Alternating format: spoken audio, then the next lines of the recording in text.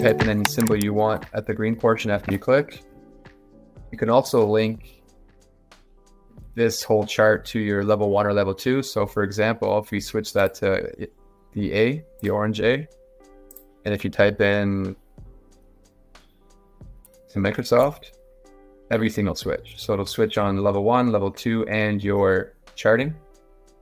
There's so many different lines you can draw and whatnot. You can really mess around.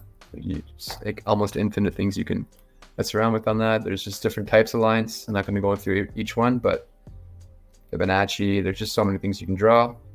To get rid of it, you just click on it and then hit delete after you place it.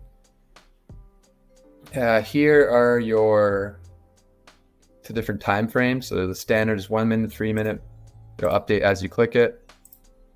You can also scroll out by using the trackpad on your mouse, or you can right click and go zoom or zoom in or zoom out. One cool trick is you can, if you want a very customized time frame that's not listed here, you can just click and let's say you want to do seven minutes for whatever reason. I think that's going to give you an edge.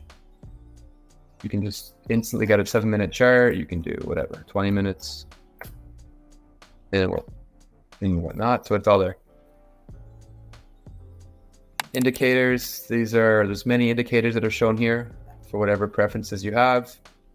General, moving average base, price, volume, oscillators, and index base. So we'll try, I like the relative strength personally, so we can just play here.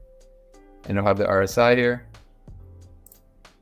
If you had enough Sometimes you can get go a bit overboard and put way too many indicators, which I've done. You just, if you want to get rid of them all, you can just hide them all. You can also save your settings under indicators, indicator sets.